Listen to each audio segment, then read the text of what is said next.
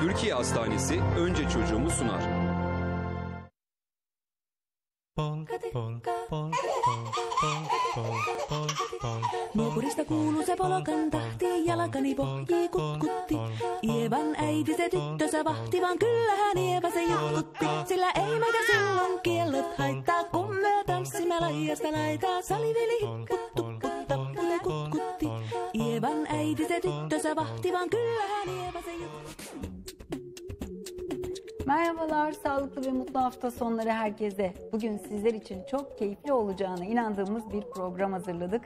Konumuz çocuklarla, çocuklarımızla doğru iletişim kurmak ve çocuk yetiştirirken karşımıza çıkan sorunlarla, krizlerle baş etmeyi öğrenmek. Evet, hepimizi gerçekten yakından ilgilendiren bir konu ve stüdyomuzda bu konuda değerli çalışmaları olan uzman psikolog Buket Kasrat bizimle birlikte. Hoş geldiniz. Merhabalar, hoş bulduk. Öncelikle sizi kutlamak istiyorum. Çok güzel bir kitap hazırlamışsınız. Bize Çok de ilham oldu. Ben ederim. hemen izleyicilerimizle paylaşmak istiyorum bu kitabı. Aha. Gerçekten kaçırmasınlar. Çocukları yetiştirmede psikolojik taktikler. Arkadaşlarımızdan rica edelim yakından versinler. Ee, gerçekten çok keyifli ve çok güzel bir kitap.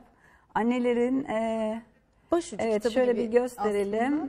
Evet annelerin e, gerçekten çocuklarını yetiştirirken çok faydalı olacağına inandığımız anneler için böyle bir kitap ya- hazırlamış Buket Hanım. E, gerçekten müthiş bir kitap. Ha, çok yani çok mersi. pratik bilgiler var. Evet, evet. Ona çok e, önem verdim açıkçası.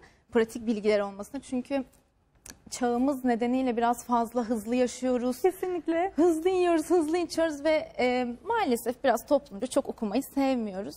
O açıdan da e, hep bana gelen anne babalar danışanlarda da gördüm hep böyle pratik çözümler. E, hep böyle hap tablet şeklinde Değil mi? öneriler. E, öyle olunca da madem böyle bir ihtiyaç var dedim. E, tabii belki çok doğru değil ama biraz daha böyle tablet hap şeklinde. Tablet hap şeklinde ama hepsi de gerçekten büyük bir titizlikle Evet, hazırlanmış. evet, Bu çok evet, önemli. evet. Hani ben bir gazeteci gözüyle baktığımda Çok da o mersi. başlıklar nereden nasıl gireceğini o kadar güzel yapmışsınız, Çok hazırlamışsınız teşekkür ki. ederim. Ee, Bir de şuna da önem verdim kitapta. Yaşanmış hikayeler var. Hani bu bizim için bence anne babalar için de çok değerli ve önemli. Çünkü e, kendilerinde olan bir sorunu başkasında da görünce biraz daha rahatlıyor ebeveynler. Ve öyle olunca da biraz daha e, iletişimleri de değişiyor. E, gerçek hikayeleri okuyunca Aa, bu bende de var aynısı demek ki olmuş bu şekilde çözümlenmiş diye. Çalıştığımız anne babalarla, çalıştığım anne babalarla e, bir sorunun karşısında ne yaptık, ne başarıya ulaştı, ne ulaşamadı onları da içerisine koydum. Anne babaların yorumları var e, yaptığımız çalışmaların karşılığında. E, keyifli güzel bir kitap olduğuna inanıyorum. Çok güzel geri dönüşler de alıyorum. Her şey yolunda çok şükür. Gerçekten annelerin de çoğu çalışıyor artık. Ee, Bir taraftan çocuk büyütmenin stresi, bazen hani Kesinlikle. takıldığınız bir yer oluyor. Hani Kesinlikle. çok rahatlıkla e, hemen bir rehber kitap. Şu konuda ne yapmak lazım? Evet. Hemen aç bak. Evet 8 bölüm var içerisinde. E, 0-6 yaş aslında ama tabii ki de iletişimle ilgili konularda Aslında bir de ilkokulda- ergenlik dönemine ihtiyacımız var Ergenlik sanırım. sanırım sizde de var. Ergenlik döneminde tabii çok e, önemli ve e, önemsememiz gereken bir konu gerçekten. Fakat tabii okul öncesi dönemde eğer sağlam temeller atılırsa açıkçası ergenlikte biraz rahat geçiyor. O yüzden okul öncesi çok önemli. Evet aslında okul öncesi dönem e, çok önemli bir dönem. Biraz da bundan bahsedelim aslında. Evet. Neden önemli? Evet. Onu da konuşalım ama konuşmadan önce izleyicilerimize telefon numaralarımızı verelim. 0212 454 55 17 0212 454 55 18 numaralı telefonlarımızdan bizi arayabilirsiniz. E, ayrıca twitter.com slash önce çocuğum, facebook.com slash önce çocuğum, önce çocuğum haber.com.tr adreslerimizden de bize sorularınızı yollayabilirsiniz. Ayrıca WhatsApp numaramız 0541 269 71 92 e, bize WhatsApp'tan da sorularınızı gönderebilirsiniz. Evet her konuda ulaşmak her, her şekilde kolay değil mi? Evet artık Evet. çağı. Değil mi? Aynen öyle. Şimdi aslında önce şeyle başlayalım isterseniz. 0-6 yaş dönemi neden önemli? İsterseniz buradan başlayalım. Şöyle 0-6 yaş e, tabii artık çok önemsiyoruz. E, okul öncesi dönem dediğimiz ilkokula kadar olan ki dönemi kapsıyor. E, neden önemli? Çünkü çocukla o yaş grubunda kurduğunuz iletişimin meyvelerini ileride topluyorsunuz olumlu veya olumsuz. E, neden önemli? Çünkü kişilik gelişiminin %80 gibi bir kısmı oluşuyor. Ee, Yani ve- kişiliğin temelleri orada temelleri atılıyor. atılıyor. Kesinlikle öyle ve bazen anne babalar e, bu söylemimden korkuyorlar. Hani bu sefer biraz tedirgin yaklaşıyorlar açıkçası çocuklara. E, neyi yanlış yaptık, neyi doğru yaptık şeklinde ama e, hakikaten kişinin önemli bir kısmı e, temelleri atılıyor. İlerideki evlilik yaşantısı, iş yaşantısı, arkadaş ilişkileri, sosyal yaşam bunların hep e, biraz daha böyle izlerini açıkçası okul öncesinde anne baba ile kuran iletişimde e, görüyoruz. O yüzden çok önemli, çok hassas davranılması gerekiyor. Aslında siz de psikologlar olarak değil mi hep e, çocukluk dönemine dönersiniz. Evet yok mudur bir e, yetişkin seanslarında da hep çocukluğa dönülür Evet. bir koltuk vardır. Her şey orada başlıyor. Her çünkü. şey orada başlıyor aynen. Ve bizim e, çocuklarımızın e, diyelim ki bir işte yaramazlığı, bir sıkıntısı vesaire durumunda onlara verdiğimiz tepkiler, davranışlar aslında birçok şeyi de yönlendiriyor değil mi? Kesinlikle. Çok önemli. Bunlar da çok önemli. Kesinlikle. Ee, çocuk evde zaten en önemlisi şu ilk okul kesinlikle aile. Ee, biraz e, anne babalarda onu da görüyorum. Evde bir takım davranışları yapıyoruz yapmıyoruz diyor, diyorlar ki okula başlayınca nasıl olsa geçecek. Okula başlayınca öğretmeni düzeltir vesaire. Bu çok yanlış. Ee, en önemli okul aile. Artık e, çocuk doğduktan sonra bu sistemin içine giriyor ve orada bütün alışkanlıkları kazanıyor, ediniyor. O yüzden e, anne babanın özellikle iletişime, e, empati duygusuna çok önem vermesi gerekiyor ki bunu da başkalarından beklemeden. Biraz onu da yapıyoruz maalesef. Hani e, babaanne bakıyor, anneanne bakıyor, öğretmeni destekliyor. İşte ne bileyim evde bir bakıcı varsa o e, onun iletişimi önem kazanıyor. Hayır.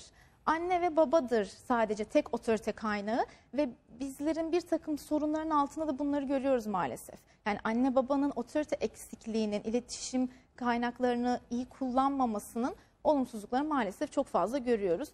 Ee, Okulda bir davranış problemi olarak çıkabiliyor, Ee, arkadaş ilişkilerinde bozulma, derslerde e, aksamalar vesaire. O yüzden e, iletişimin her tekniğini anne babanın e, çok doğru bir şekilde kullanması gerekiyor. Ve bir anahtar kilit aslında çocukla iletişim ve uyum. O frekansı yakalarsanız e, hakikaten işler çok güzel bir şekilde gidiyor.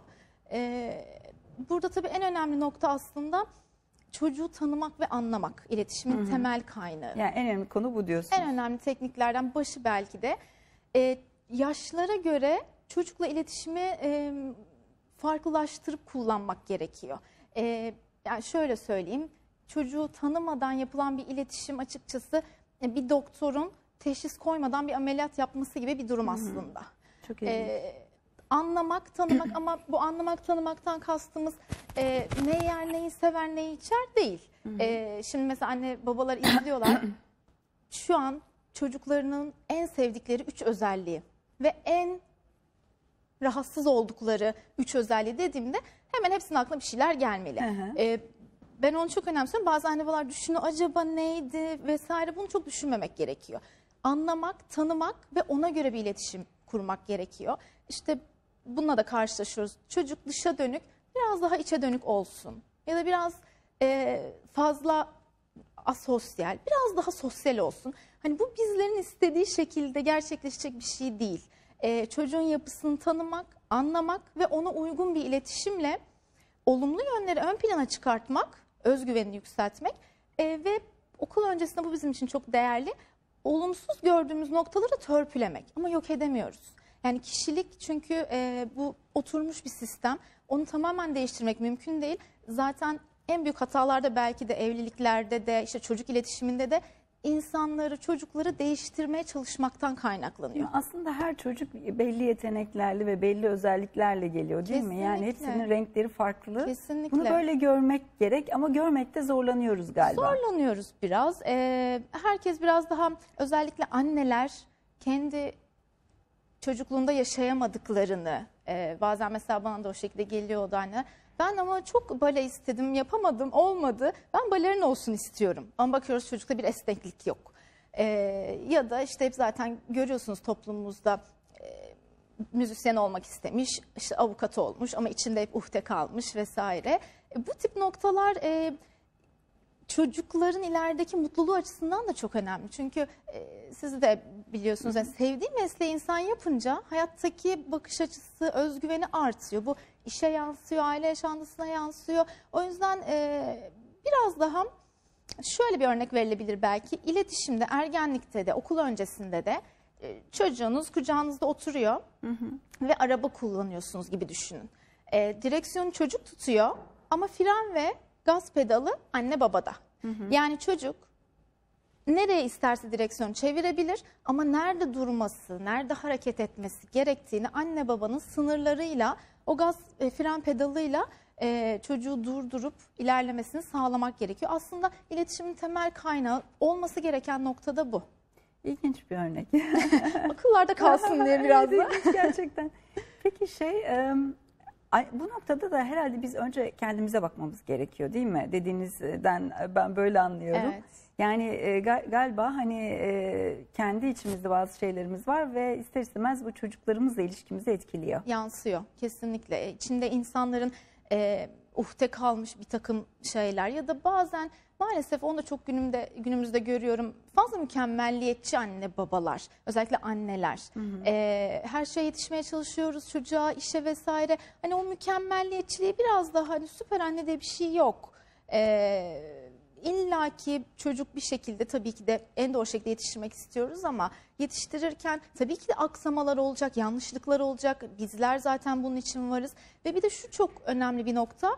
Ee, çocuklar genellikle anneler düşmesin istiyorlar hiç. Ama aslında önemli olan düştükten sonra neden düştün ve bundan sonra düşmemek için ne yapabiliriz?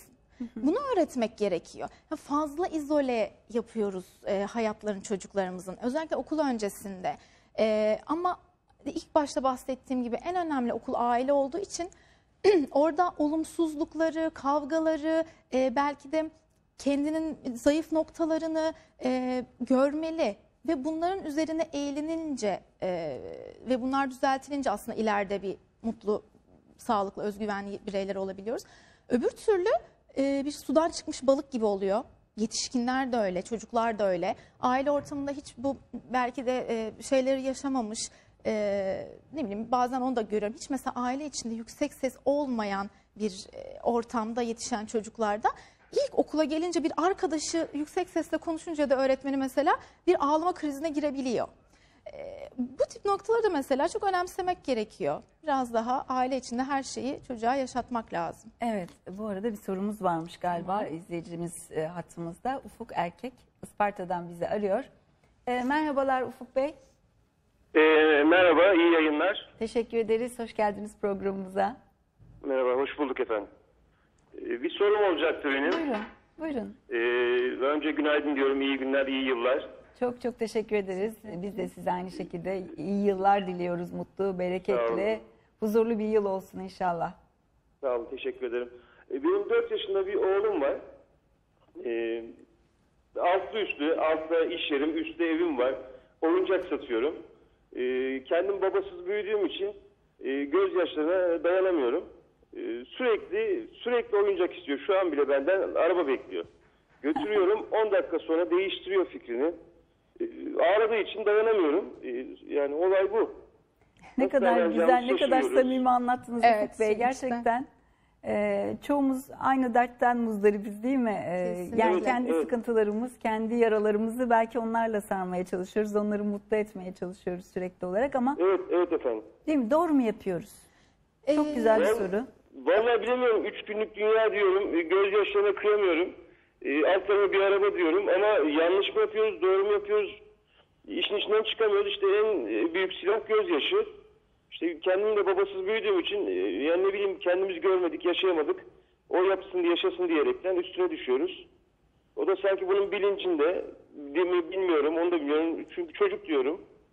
Evet, e, Ufuk Bey hemen size tavsiye ediyoruz. Şu çocuk yetiştirmede psikolojik taktikler bunu mutlaka alın. E, çok pratik efendim, çözümler var gerçekten. E, çok güzel hazırlamış Buket Hanım. Alacağım. E, şimdi Evet. hemen soralım Buket Hanım. Hep çoğumuz aynı dertten muzdaripiz aslında değil mi? Evet. Çocuklarımıza kıyamıyoruz. Kesinlikle. E, doğru mu yapıyoruz? Ee, tabii ilk başta aslında yine bahsettiğimiz nokta o kendi içinde e, Ufuk Bey'in de bahsettiği gibi işte babasıyla iletişimi bu şekilde olduğu için e, kendi çocuğuna atfediyor bir takım duyguları. E, tabii bunlardan biraz arınmak gerekiyor. Çünkü genelde aileler ağlamasın, aman üzülmesin vesaire diye e, bu tip davranışlara girebiliyorlar. Özellikle çalışan ebeveynlerde de bunu görüyoruz. Bir vicdan azabıyla Biraz suçluluk duygumuz var galiba Evet. değil mi? Ve maalesef bu suçluluk duygusunu farklı şeylerle kapatmaya çalışıyoruz. Yani birazdan maddiyata yönelik Evet, bir daha oyuncak çok olarak. veriyoruz, Daha çok mi? veriyoruz. Evet ama bu verdiğimiz şeyler maddiyata dayalı olduğu için Neye sonuç veriyor bu? Ne, ne, neyle sonuçlanıyor? şöyle doyumsuzluk olabiliyor. Tatminsiz, bir Tatminsiz çocuk olabiliyor. bir yetişkin olabiliyor. Yetişkin tabii. Ee, bir de tabii her istediğini e, yüz ifadesinde ağlayarak, mutsuz olarak yaptırdığı için ileride bu bir davranış kalıbı olarak kalabiliyor. Ee, iste- Ve büyük bir sorun tabii değil mi? Her zaman Kesinlikle. annesi babası yanında olmayacak. Kesinlikle ve e, hayat çok uzun ve karşımıza nelerin çıkacağını bilmiyoruz. Bir iş yaşantısında e, bir karşılaştığı sorunla baş edememe durumu olabiliyor. Hani bunların hepsiyle aslında bu okul öncesi dönemde kurduğumuz iletişimin e, emarelerini görebiliyoruz. O yüzden hani Ufuk Bey'in de bahsettiği hani her şeyi ağlayarak yaptırma kısmı e, maalesef ileride çok büyük zararlar verebiliyor. Aslında bunu çocuklar öğreniyor galiba değil mi? Yani Tabii. istediğini ağlayarak elde etmeyi Evet, öğreniyor evet. ve bunun sebebi de biziz herhalde. Ee, Biraz tabii biraz da açıkçası uyanık.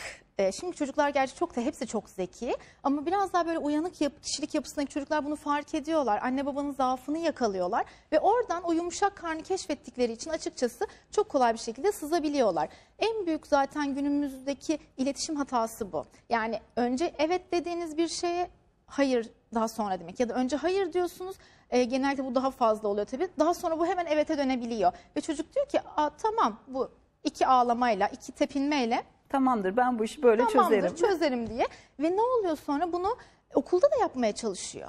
Bu Ama sefer okulda tepki görüyor değil tepki mi? görüyor. Bu sefer ne oluyor? Ee, okula uyum problemleriyle ilgili bana gelenler ee, ya da okulda davranış problemleri olanlar. Kaynağı aslında ne? Sadece evdeki steril ortamdan okul ortamına geçmiş olması aslında bazen baktığınızda. Ne oluyor? Evde bir prens ve prensesken okulda 10 prens ya da prensesten biri oluyor ya da 20 prenses prensesten. Bu halka karışma kısmı biraz sıkıntıya yol açıyor açıkçası çocuklarda. Ve o e, halka karışma kısmında da eğer evde bayağı bir steril ettiyseniz ortamları e, toz pembeyse ortam o zaman daha büyük de sıkıntılar çıkıyor. Ve bir de hayat çekilmez oluyor değil mi e, Buket Hanım? Yani şimdi düşünün ki çocuk sürekli böyle e, ağlayarak istediğini Evet, elde tabii, etmeyi tabii. öğrenince e, Tabii. bir süre sonra başkalarının yanında da sizi zor durumda bırakabiliyor. Kesinlikle bir de e, bir toplumsal baskımız var maalesef. E, çocuklarla ilgili ne bileyim bazen bir alışveriş merkezinde sokaklarda görebiliyoruz. Ve çok sık karşılaştığımız bir şey Çok bu. sık evet e, çocuk ağladığı zaman bazen hani biz psikologlar diyoruz işte görmezden gelin bazı tekniklerimiz var ve işe yarayan teknikler. Anne babalar bazen bunları uygulamaya çalışıyor ama çevre e, pek izin vermiyor. Aa ne kadar ağlıyor ya da "Ay, yazık yavrum ağlatılır mı çocuk öyle ya da bir sorunu mu var şekline girince iş e, biraz anne babaları sıkıntıya düşürüyor. Bir ikinci de biraz e, anneanne babaanneler. Değil mi? Onlar da çok Onlar yapıyorlar. biraz kıyamıyor ve biraz anne babalara baskı buradan hepsine selamlar ama biraz baskı e, kuruyorlar maalesef. O baskıyı da anne üzerinde hissedince maalesef çocukla doğru iletişim kuramıyor. Peki şimdi diyelim ki Ufuk Bey'in böyle bir sorunu var. Ee, Hem Ufuk Bey için bir çözüm olsun hem de bu konudan dertli olan pek çok anne için de biz bir çözüm olalım. Ee, nasıl yaklaşması gerekiyor? Çocuk sorununu ağlayarak çözmeye çalışıyor. Nasıl e, bir davranış sergilemeli ki anne baba çocuk bundan vazgeçsin? Şimdi öncelikle ilk başta bahsettiğimiz gibi yine e, bir sistem oturttuysak onu devam ettirmeliyiz. Yani önce evetse sonra hayır olmamalı. Kararlı Yani ve kararlı tutarlı. ve tutarlı Kesinlikle. olmak lazım. Bir kere evet dediğini her zaman Aynen. evet ya da hayır dediğini her zaman hayır. Aynen kesinlikle öyle. Ee, ikinci nokta da belki de bütün hani ilet günlük yaşantı için önemli. Bizim bizlerin davranış pratiği dediğimiz noktalar var. Bunlar ne demek? Şimdi bizler 3 yaşında mesela Ufuk Bey'in de 4 yaşındaymış çocuğu. Ee, sıkıntı yaşadıkları konularda e, örneğin diyelim ki işte bir e, lokantada yemek yiyeceksiniz. Görüyoruz zaten sık sık. Mesela işte oturmuyorlar, yemek yemiyorlar, çatal kaşık atıyorlar vesaire. Şimdi pat diye çocukları bu ortamlara sokmamak da gerekiyor. Mesela önce lokantada bir yemek yemesini istiyorsanız ailenin kalabalık bir aile ortamında önce evde yemek yemesi. Ya da ne bileyim işte bir havuzda rahat durmasını istiyorsanız önce evde su oyunları oynaması. İşte 5 yaşında okula keyifli gitmesi için onun öncesinde bir okul öncesi kurumda vakit geçirmesi. Yani davranışları pratik ettirmek gerekiyor. Bu bizim için çok önemli. Ee, ikinci noktada biraz e, empati ile yaklaşmak gerekiyor. Yani e, özellikle okul öncesindeki çocuklarda bir şey yapma dediğinizde biraz daha inada bindirebiliyorlar. E, istediği ve zorlandığı bir konuda biraz daha dünyayı onun gözünden görmek gerekiyor. Diyelim ki işte elinde bir çubuk bir şey vardı, e, kırıldı ve ağlamaya başladı. Genelde anne babalar bu noktada ağlama en e, zararlı nokta ağlama demek. Şimdi yetişkin olarak kendinizi yerine koyun. Çok üzgünsünüz, moraliniz bozuk ve biri size diyor ki ağlama bunda ne var ağlanacak. E, çocuklarda da bu şekilde bir tezahürü var aslında. E, onun bakış açısından yakalamak ve empati kurmak gerekiyor. Sen çok üzgünsün şu an. Sen bu kırıldığı için çok e, kendini mutsuz hissediyorsun. Ya da biliyor musun şu an bir sihirli gücüm olsaydı ve sana bu çubuğun keşke şöyle bir yapıştırabilseydim. Demek biraz daha onunla aynı yere geçmenizi sağlayabiliyor. Yani onunla empati kurmak diyorsunuz pek çok şeye Kesinlikle. daha iyi e, iletişim kurmanıza çare Kesin- oluyor. Duygularını anlayabilmek ve ona geri yansıtabilmek e, empatinin kaynağı zaten bunu yapmak gerekiyor. Bir de e, yine Ufuk Bey'in sıkıntısına dönersek ya özellikle orada takıldım ben Evet. çünkü e, pek çok gerçekten günümüzün en büyük Evet. sorunlarından bir tanesi. E, çocuklar bunu alışkanlık haline getiriyor ve anneye ve babaya karşı gözyaşlarını silah olarak kullanıyor. Kesinlikle. Bunu herhalde biraz da bunun idrakinde olmak gerekiyor değil mi? Hani Ufuk Bey diyor ki kıyamıyorum. Şimdi aslında e, orada çocuğun gözyaşları gerçekten üzüldüğü için mi yoksa o anda istediğini elde etmek için mi? Bunu bilmek lazım herhalde Ee, değil işte mi? O da yine çocukları iyi tanımak ve anlamaktan geçiyor. Ee, bizim bir Mona Lisa tablosunu bilirsiniz. Mona Lisa gülümsemesi vardır çocuklarda. Yani aslında ben bunu çok yapmak istedim ama şu an biraz da üzgün görüneyim. Hani bunu yakalamak gerekiyor. Dediğiniz çok önemli bir nokta. Gerçekten mi üzgün, içten mi ağlıyor, bir şey bana yaptırmak için mi ağlıyor? Hani o farkı ayırt edip işte yine orada dediğim gibi tanımak gerekiyor çocuğu. Ondan sonra iletişim e, kurmak gerekiyor. E, öbür türlü biraz e, silah olarak tabii ki de kullanabiliyorlar maalesef. E, o anlamda mesela bazen e, gülümseme oluyor ama aslında içten içe kızgın ya da kızgın ama işte gülümse yani beden diliyle söylemler çocuklarda farklı olabilir. Bu noktaya da dikkat çekmek gerekiyor. Ailelerin özellikle önem e, vermesi gerekiyor. E, tabii bir de şey var e, yani şunu da bilmek gerekiyor. Bugün hani e, gördük mutlu e, o anda oyuncağı aldı sevindi. Evet.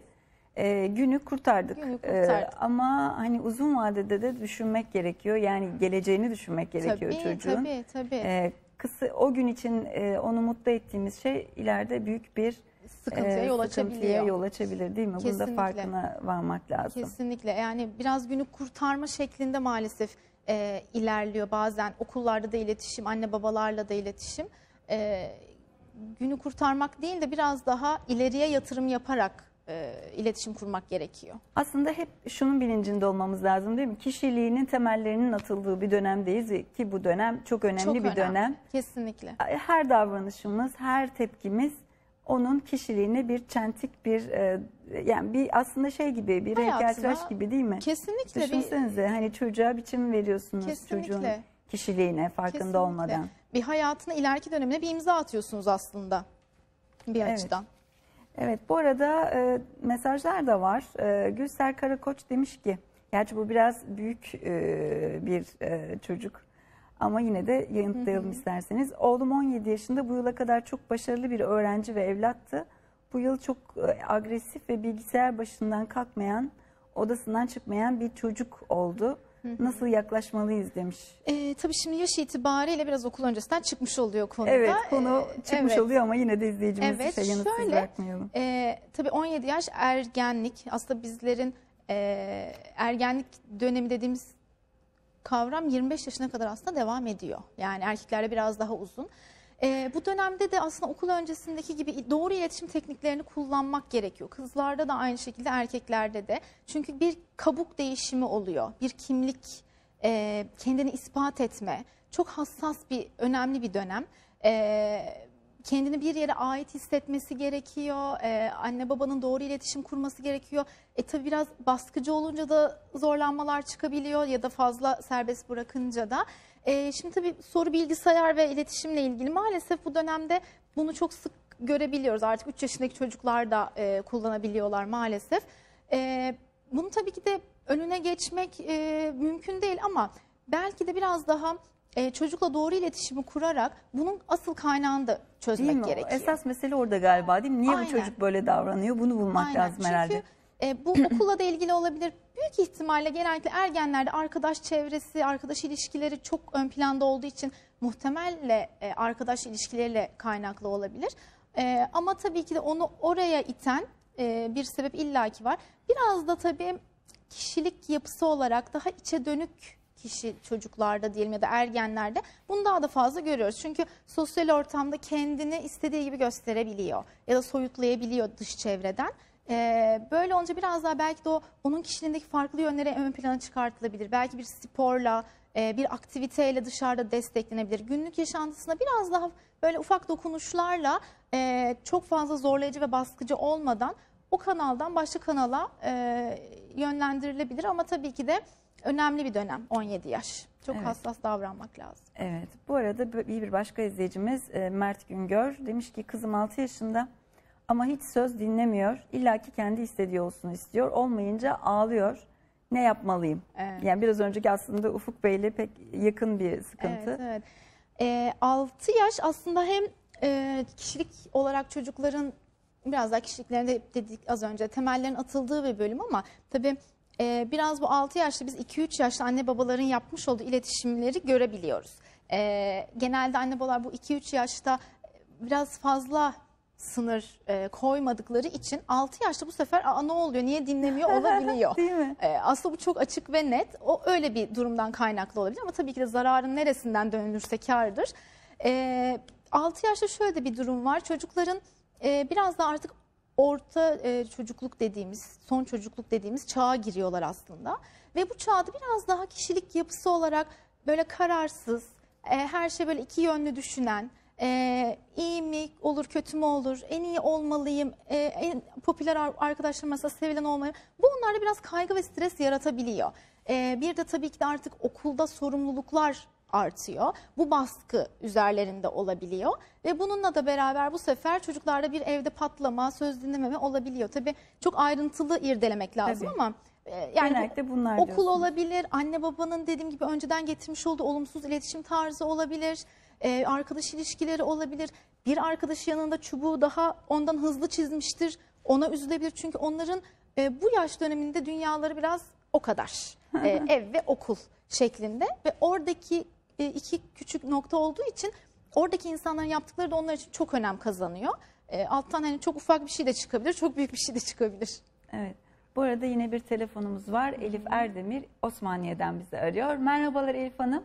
Merhabalar. Ee, benim bir sorum olacaktı da. Tabii, buyurunuz. Ee, ben kendim e, ana sınıf öğretmeniyim. 4 yaşında bir kızım var.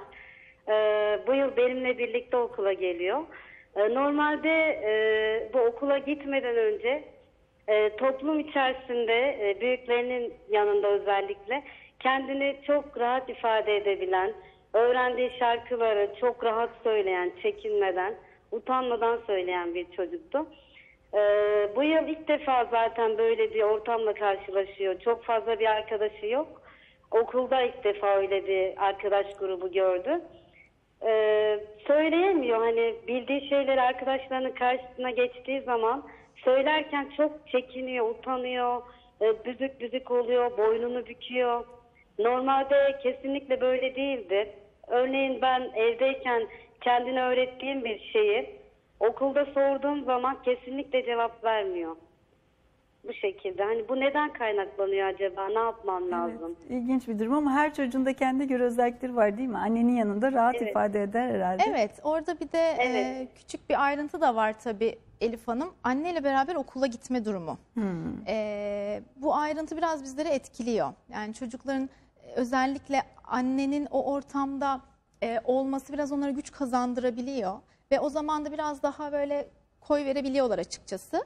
E, belki gün içinde bilmiyorum çok görüşüyor musunuz ama e, onu sınırlandırmak lazım. Yani okula girişte ve çıkışta anne görülmeli. Gün içerisinde çok fazla görmemeyi e, öneriyorum açıkçası. Peki Elif Hanım siz aynı zamanda öğretmeni misiniz o zaman okulda? Evet ama benim Aha, e, ya e, çünkü yaş grubu başka olmadığı için okulda mecburen ben kendi sınıfımı almak zorunda kaldım. Evet. O tabii Evet. biraz e, size e, sıkıntı yaratan bir durum maalesef Evet, ama e, biliyorum evet. tabii ki de belki de ev içerisinde ufak dramalar yapabilirsiniz Elif Hanım. Ee, mesela belki de evde biraz anne rolü, bak okulda öğretmen rolü şeklinde. Ona evde bu ufak alıştırmaları yaparsanız okulda da nasıl davranacağını belki de e, daha iyi kestirebilir. Ama bundan ziyade e, 4 yaş biraz daha artık böyle e, yani şöyle söyleyeyim gelişim dönemlerinde en zorlu yaşlar 2,5, 4, 6 ve ergenlik şeklinde gidiyor. O yüzden zorlu bir yaş dönemine de giriyorsunuz. Ee, onun da biraz e, etkisi var. Onun duygularını anlayarak yaklaşmaya çalışmak tabii e, az önce de bahsettik çok önemli. Ee, onun yanı sıra biraz daha tabii belki e, iletişimle ilgili noktalarda e, hani belki de kendini ifade etmesine yönelik e, çalışmaları e, yapabilirler. Belki dışarıda böyle bir aktivite vesaire katılabilir. Ama orada tabii şey şu çok önemli. E, okul öncesinde çocuklar çok anlık değişiyorlar. Hani Elif Hanım da yani diğer anneler de bundan çok e, nasıl diyeyim üzüntü duymasınlar. Çünkü bir bakıyorsunuz çok sosyal, bir bakıyorsunuz ertesi gün içe dönük. Bir bakıyorsunuz toplum e, arkadaşlarında şarkı söyleyebiliyor, öbür gün çekinebiliyor. Hani bunlar ileriye yönelik böyle olacak diye bir e, kaidesi yok aslında. O yüzden e, hani genelde de hep dedim ya başta anneler ben aslında biraz daha toplum önünde şöyle söylesin istiyorum. Şimdi şöyle bir durum. E, size ne bileyim alın bu mikrofonu hadi şimdi şarkı söyleyin deseler söyleyebilir misiniz? Bizler çocuklara biraz fazla da yüklemeler yapıyoruz. Evet çok da fazla beklentiler içine giriyoruz. Belki giriyoruz. çocuk bu yüzden de kaygı duyuyor olabilir değil mi? Kesinlikle, kesinlikle. Hani annesi kendisinin annesi ama orada başka çocuklar var. Evet. Mutlaka kendini daha çok gösteren çocuklar da vardır. Bazı çocuklar da bir e, sosyal kelebek oluyor. Aynen. E, orada belki de e, çocuk yanlış bir hata hata yapmaktan korkuyor olabilir. Kesinlikle. Veya annesinin güvenini kaybetmekten korkuyor Evet. olabilir. Bazen dediğiniz mesela diğer çocuklarda olduğu için kendini geri plana da çekiyor olabilir. evet. Ee, orada çok tabii hassas noktalar var. Onların e, hepsini belki de ayrıntılı incelemek lazım ama en önemli belirleyici nokta hani bu davranış değişikliklerinde aynı sınıfta olmaları e, ve bir de belki de biraz daha Elif Hanım'ın fazla beklentili olması. Evet bence de Elif Hanım birazcık o konuda dikkat etsin kendine. Yani çok fazla beklenti içinde olduğunu hissettirmemesi herhalde daha hayırlı Büyük olur diye düşünüyorum. Beklentiler büyük hayal kırıklıkları yaratıyor. evet yani çocuk daha baskı altında hissediyor Evet, herhalde kendisini ve kendini olduğu gibi ifade edemiyor, diye Edemiyor. düşünüyorum. Kesinlikle. Ee, programımızın sonuna doğru geliyoruz. Bir başka izleyicimiz Mehmet Korkmaz. Çocuğumu okul öncesi eğitime bir türlü ısınamadı. Ee, kendisinden üst sınıftakilerle oynuyor. Yaşıtlarıyla geçinemiyor. Birinci sınıfa başlamak istiyor. Ne yapmalıyız demiş. Kaç yaşında? Ee, okul öncesi eğitimde dediğine göre Okul herhalde öncesi.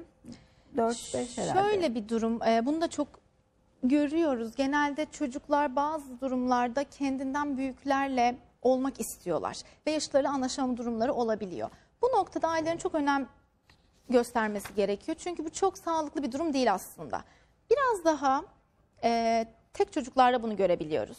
Biraz daha uyanık böyle çocuklarda kişilik yapısı olarak görebiliyoruz. Yani şu nedenle e, yaşıtlarda bir kavga var İlknur Hanım. Yani al, ver vesaire.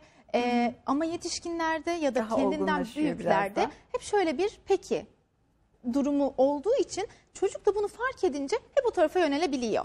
Ee, genelde evde her istediği olan e, biraz daha belki tek çocuklarda, biraz da anne babanın sınırlarının olmayan çocuklarda bu tip noktaları görebiliyoruz. Ama bizim e, şunu çocuklara yapmamız gerekiyor okul öncesinde arkadaş ortamına sokup orada o kavgayı etmeli. Ee, orada oyuncak onun elinden alınmalı. Çünkü yaşıtlarında bu oluyor, büyüklerde maalesef olmuyor.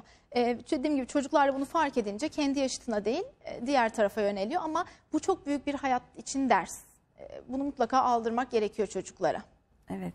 Burada e, yine bir soru var. E, Şeyma Bölükbaşı demiş ki kızım 2 yaşında çalışan bir anneyim. E, kreşe yazdırmalı mıyım? E, 0-2 yaş bizim için çok önemli. Yani kişilik gelişiminin e, ilerideki e, etkilerini görebiliyoruz.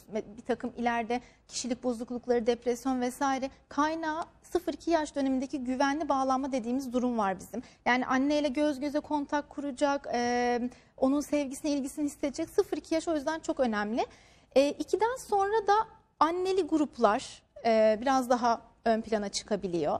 E, biraz daha e, Onu aslında öneriyoruz şu açıdan çünkü 3'te artık tamamen okul öncesi eğitim artık çok yaygınlaştığı için 3'te pat diye gidince açıkçası çocuklar sıkıntı yaşanabiliyor. Ee, Üçten önce kendilerine uygun olan e, annelerin içgüdüsüne ben çok güveniyorum o anlamda. Ee, okul ortamının, fiziki yapısının, öğretmenin, arkadaşların güvendikleri bir ortamda tabii çocuk sayısının da böyle çok da fazla olmadığı açıkçası iki yaş çünkü çok küçük de bir yaş. Evet değil mi? O yüzden de çok dikkat etmek gerek Dikkat herhalde. etmek gerekiyor biraz. Ee, anneli gruplar e, biraz daha sağlıklı olabiliyor bu dönemde. Okul seçimi de önemli herhalde değil mi? Ee, tabii. Anaokulu seçimi. An- tabii ki de çok seçimi. önemli. Ee, tabii çok fazla anaokulu var ama orada e, çocukların yeteneklerinin, ilgilerinin ön plana çıkartıldığı, kişiliklerinin bastırılmadığı bir öğretmen otoritesi. Çünkü öğretmen otoritesi okul öncesinde en zararlısı bizim için. Değil mi? Çocuğun bütün kişiliğini. Kişiliğine Zarar etkiliyor. verebilir. Aynen ve en önemlisi de dediğim gibi yeteneklerinin ön plana çıktığı anaokulları. Yani orada baktığınızda bir takım çalışmaların yapılıyor olması. Çünkü e, açıkçası İngilizceyi 10 yaşında da öğrenebilir. Ama yeteneklerini okul öncesinde e, filizlendirirsek o 10 yaşında çok daha iyi gider. O yüzden duygusal gelişimlerine, yeteneklerinin gelişimlerine okul öncesinde çok önem vermek gerekiyor ve bu tip okullarla da buluşturmak gerekiyor. Evet. Ee, İpek Gümüşsuyu sormuş. Demiş ki 8 yaşındaki oğlumla iletişim kuramıyoruz. Onu memnun edemiyoruz. En önemlisi de 2 yaşındaki kardeşine çok aşırı tepki veriyor. Ne yapmamız lazım? Yine o söylediğimiz şeylerin sonuçları geliyor. Evet, evet. Ee, tabii biraz belki kardeş ilişkilerinden de etkileniyor olabilirler. Ee, iletişim kuramıyoruzu açıkçası kabul etmiyoruz. Kabul etmiyorum.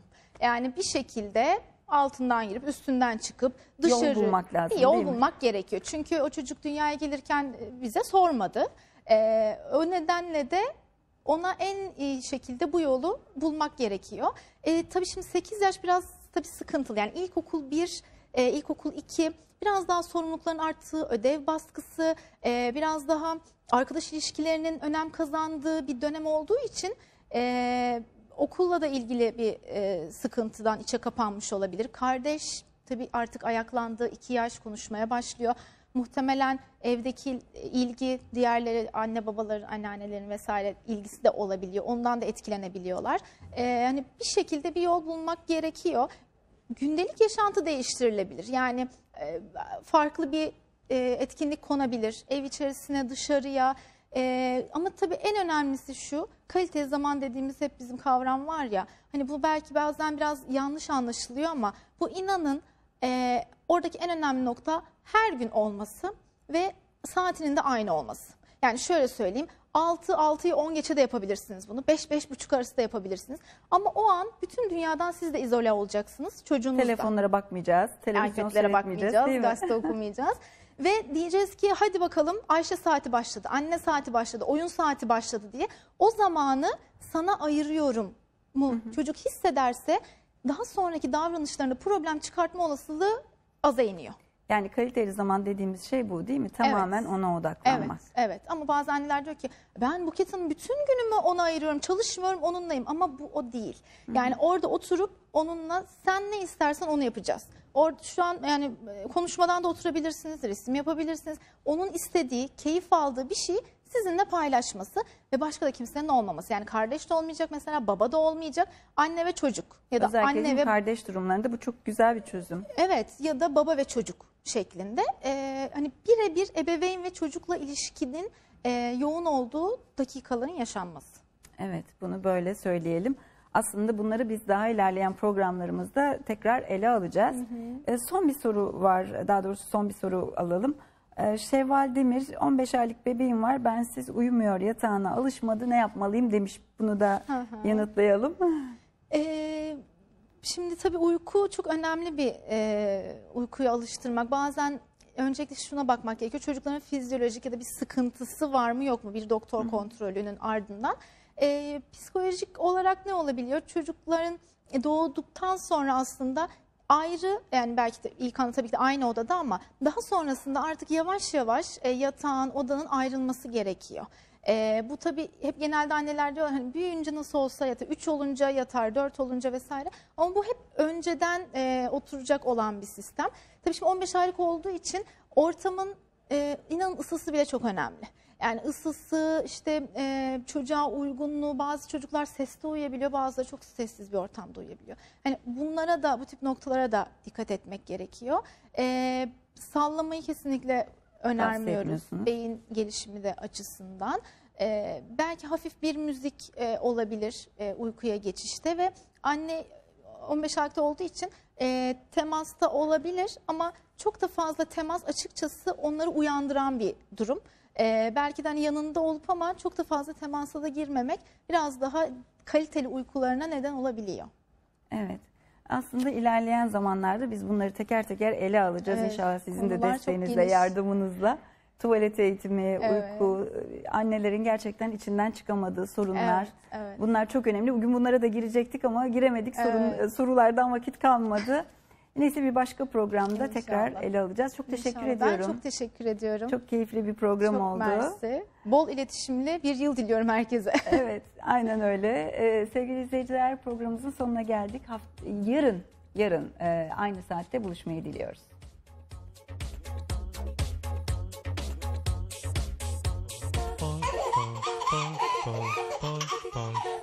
Kuuluu se polokan tahti, jalkani pohjii kutkutti.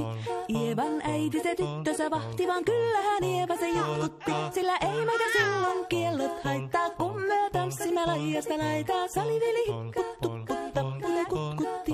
Ievan äiti se tyttönsä vahti, vaan kyllähän Ieva se jutkutti. Sillä ei meitä silloin kiellot Türkiye Hastanesi önce çocuğumu sundu.